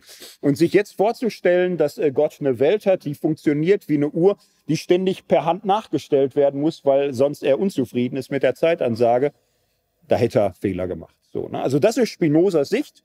So, die Welt äh, läuft nach dem Willen Gottes. Wunder gibt es nicht in der Wirklichkeit und im Handeln Gottes. Wunder sind Ereignisse, die Menschen nicht verstehen und die ihnen wunderbar sind. Damals wie heute. So, so sieht er das für seine Zeit, ganz klar. So in seiner Zeit, und da ist es auch sein Anliegen, dass das Ganze mit Hexen und Zauberer und Vision und ah und so, wird er sagen, nö. So, wir fangen an, langsam die Augen aufzumachen und die Welt zu verstehen. Darauf sollten wir uns konzentrieren. Er überträgt das auch auf biblische Zeit und sagt, Gott ist der eine, ewige und selbe. So, und, und wenn heute diese ganzen Zaubergeschichten mir komisch vorkommen, war es wohl immer so. Die Bibel äh, gibt hier nichts auf für zum Wahrhalten. Es gibt eine Botschaft der Bibel, lebe in Entsprechung zum gerechten und liebenden Gott. Punkt. Das ist die ganze Geschichte. So, das war das Buch. So, und am Ende rühmt er nochmal den freien Staat und sagt, und im Grunde gehört es zusammen, der freie Glaube, die freie Frömmigkeit, die freien Bürger und die freie Meinungsäußerung, seien wir froh und dankbar. Und äh, Glaube, der erzwungen wird, ist immer schon vergiftet. So äh, verehren wir Gott und dienen ihn in Freiheit und Nächstenliebe. Alles andere bringt uns nur um. Ja, wie ging es dann weiter? Wurde er eingeladen zu vielen Talkshows? Äh, Gab es äh, Rezensionen? Haben die Leute gesagt, das sind radikale Gedanken, aber interessant, wir können über alles. Nein, alles nicht. Ne? Also klar, ne? Cancel Culture. Hieß nicht so, aber hieß damals noch normal. Ne? Wurde verboten, wurde unterdrückt, wurde kassiert, erschien anonym und, und so. Äh, Schluss aus, vorbei und so. Er musste sehr stille sein. Er hatte noch ein Buch in der Mache, Ethik, alles sehr wichtig Er hat gar nicht mehr dran gedacht, das groß zu veröffentlichen und, und so war ja alles schwierig. Die Bücher wurden verbreitet, Schwarzdruck in äh, anderen Städten und Ländern. Man konnte das nicht mehr so ganz einkassieren. Ähm, Im Grunde gerät er teilweise in Vergessenheit, weil in seiner Welt war er echt ein bisschen extrem. Da hatte echt keiner Neigung oder so. Also also als er stirbt, äh, Johann Sebastian Bach ist noch nicht mal geboren und, und so, ne? wirklich andere Zeit, andere Welt und, und so. Ne? Ähm, Im Grunde 100 Jahre später wird er so richtig entdeckt, schlägt er richtig ein. Ende des 18. Jahrhunderts, also über 100 Jahre nach seinem Tod, da wird Spinoza einer der meistgelesenen und gefeiertsten Denker. Er hat dann auch einen sehr erlesenen Fanclub. Zu seinen Fans gehören Leute wie Lessing oder Goethe. So Lessing hat es nur mal so in einem Gespräch angedeutet, dass das das Geilste überhaupt sei. Also Goethe hat dann schon gedacht, ich bin Goethe, wenn ich mir nichts gönnen kann, wer dann? Ne? Der hat sich das dann gegönnt, mal Dinge zu sagen. Als Goethe kommst du auf keinen Scheiterhaufen mehr oder so. Oder ist man in Weimar dankbar, man lässt ihn halt äh, freidrehen. Was ist Goethe? Kannst du nichts machen. Ne? Und äh, mit der Zeit so nach und nach Leute wie Nietzsche. Nietzsche hatte ja eine Hochbegabung darin, auf andere herabzublicken. Er hatte meistens Grund auch. Aber äh, Spinoza ist einer der ganz wenigen, wo Nietzsche sagte, das ist jetzt schon, das, das, das ist groß, so, das ist echt super. Und äh, auch Einstein so. Und ähm, das Witzige ist jetzt, wenn man allein jetzt mal nimmt, Einstein, Nietzsche und Goethe, die liebten alle Spinoza, alle drei aus völlig gegensätzlichen Gründen oder unterschiedlichen Gründen weil die paar Sachen, die er geschrieben hat, waren zum Weltverständnis, äh, zum Menschenbild, zur Anthropologie so ihrer Zeit voraus, dass in der Folgezeit Spinoza schon eine große, große Nummer wird. Äh, kam in meinem Vortrag alles gar nicht raus. Warum? Da, da müsste man jetzt andere Vorträge, worauf die sich stützen. Wir haben uns jetzt einfach mal auf dieses Buch hier äh, gestützt und damit seine Anfänge historisch-kritischer Bibelwissenschaft möchte an der Stelle jetzt nochmal zusammenfassen, historisch kritisch, was meine ich damit? Naja, was bei ihm neu ist, ist dieser methodische Anspruch. Also er sammelt nicht hier eine Beobachtung, da eine Kritik, da einen Punkt und hier so. so er sagt, methodisch, grundsätzlich fange ich das an. Methodenbewusstsein, René Descartes, so muss die Bibel ausgelegt werden. Zweitens, historisches Bewusstsein.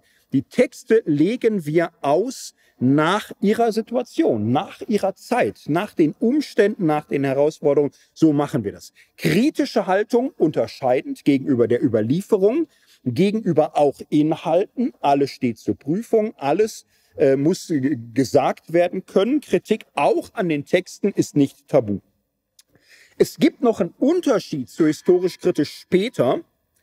Ähm, Spinoza denkt am Ende relativ wenig historisch wenn man sich jetzt hier so sitzt oder fragt, möchte ich Spinozist werden? So, kommt man ja auf die Idee kommen. So, das klang jetzt erstmal schlank und griffig. Das liegt daran, dass ich schlimm vereinfacht habe nebenbei. Wird schwieriger, wenn man da einsteigt. Richtig Spinozist werden, müsste man sich ein bisschen weiter hochschrauben noch. Und ähm, aber man wird auch merken, dass das, was, was er am Ende wesentlich findet, ist eine sehr zeitlose, ewige, absolute Wahrheit. So, das ist relativ, es, es ist ungeschichtlich. Und er hat das auch noch gar nicht so auf dem Schirm. Kommende Jahrhunderte entdecken viel stärker geschichtliche Wahrheit zu würdigen. Bei ihm ist im Grunde schon geschichtlich ist das, was wir sehen, das ist zeitbedingt und da bleibt es dann auch. Äh, Im Grunde nimmt er schon so einen Kern raus und der ist es dann. Er hat eine zeitlose Wahrheit. So, da wo es wahr ist, ist keine Zeit mehr. Und äh, die nächsten Jahrhunderte werden sagen, das ist auch eine Flucht in eine illusorische, zeitlose Welt. Die Welt ist durch und durch geschichtlich. Auch deine Gedanken, Spinoza. Und das ist aber noch nicht hier. Ne? Das, das dauert noch, dass man dahin kommt, dass alles geschichtlich ist. Ja, das war Spinoza. Das war ein Einstieg. Heute keine weitere Auflösung, keine Einordnung, keine Warnung, keine Anpreisung. So war er ungefähr. So war es ungefähr in vereinfachter Version. Morgen geht's weiter im 18. Jahrhundert. Vielen Dank.